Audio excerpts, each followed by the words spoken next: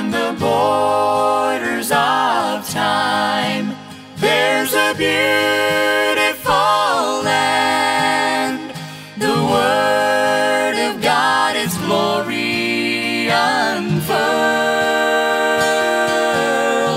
And by the grace of God, I someday will come.